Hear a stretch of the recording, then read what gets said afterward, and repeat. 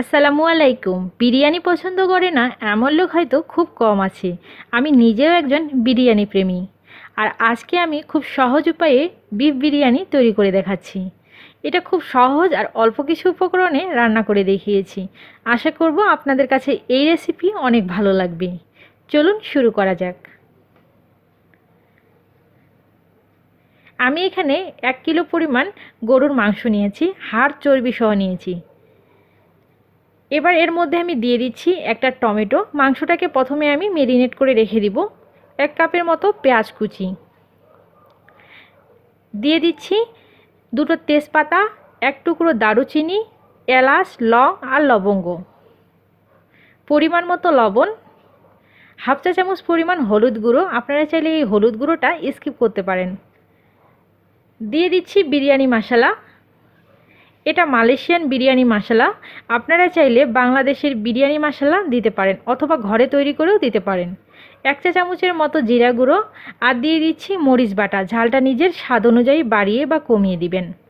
আদা রসুনের বাটা দিয়েছি দুই টেবিল চামচ আর হাফ কাপের মতো দিয়ে দিচ্ছি টক দই।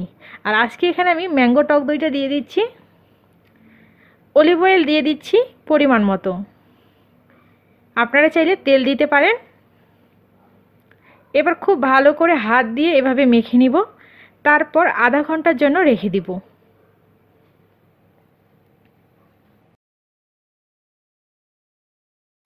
ততক্ষণে আমি ভাতটা রান্না করে নিব। এই জন্য এখানে দুই কাপ পরিমাণ বাসমতি চাল নিয়েছি। আপনারা চাইলে এখানে আতপ চাল অথবা চিনি গুঁড়া চাল নিতে পারেন। চালটাকে এক ঘণ্টার জন্য ভিজিয়ে রেখেছিলাম। তারপর ভালো করে পানিটা ঝরিয়ে নিয়েছি। একটা হাঁড়িতে পানি গরম করতে দিয়েছি, এর মধ্যে এখন দিয়ে দিচ্ছি দুটো এলাচ, দুটো লং লবঙ্গ আর এক টুকরো দারুচিনি। এক চা চামচ পরিমাণ তেল দিয়ে নিব। এবার ধুয়ে নেওয়া চালগুলো দিয়ে দিচ্ছি। তেল দেওয়ার কারণে ভাতটা অনেকটা ঝরঝরে হবে আর ভাতগুলোকে আমি নব্বই পারসেন্ট সিদ্ধ করে নিব। পুরোপুরি সিদ্ধ করব না। পুরোপুরি সিদ্ধ করলে বিরিয়ানিটা ঝরঝরে হবে না। নব্বই পার্সেন্ট সিদ্ধ করে নেওয়ার পরে পানিটা ঝরিয়ে ঠান্ডা পানি দিয়ে ভালো করে ধুয়ে আবারও পানিটা ঝরিয়ে নিব।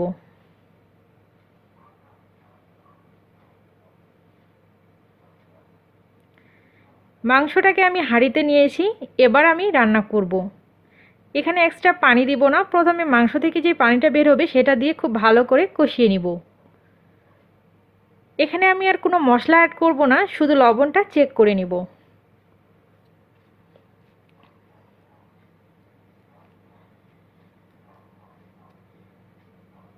মাংসটা রান্না হয়ে গেছে, এটাতে আমি ঝোল রাখিনি, এখন নামিয়ে নিব।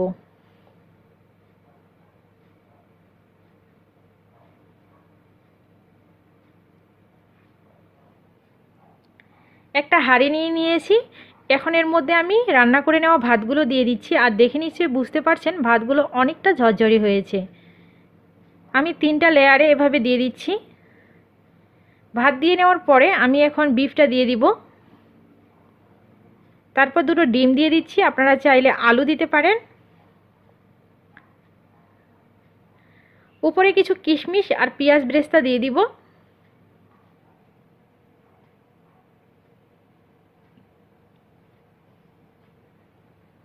তারপর আবারও উপর দিয়ে ভাত দিয়ে দিব।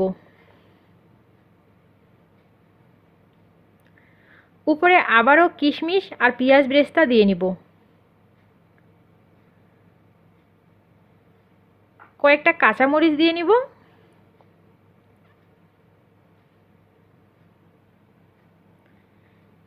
এক টেবিল চামচের মতো ঘি দিয়ে নিচ্ছি। এটা অবশ্যই দিবেন, এতে করে সুন্দর একটা ফ্লেভার আসে।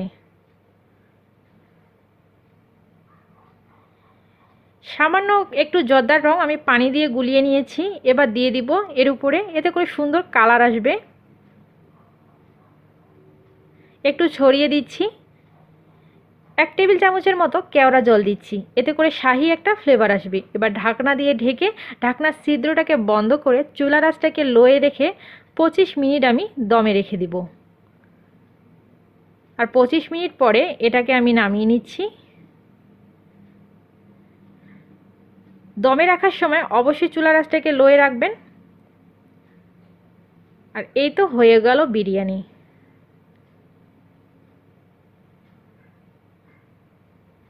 ঝরঝরে বিফ বিরিয়ানি। এবার আমি প্লেটে তুলে নিচ্ছি।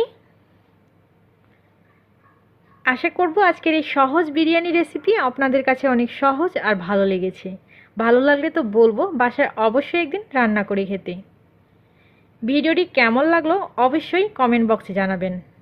আমার রেসিপিগুলো যদি আপনাদের কাছে ভালো লেগে থাকে, তাহলে রিকোয়েস্ট করব চ্যানেলটি সাবস্ক্রাইব করে নেবেন এবং পাশে থাকা বেল আইকনটি বাজিয়ে নেবেন, যাতে নিত্য নতুন রেসিপিগুলো আপনি সবার আগে পেয়ে যান।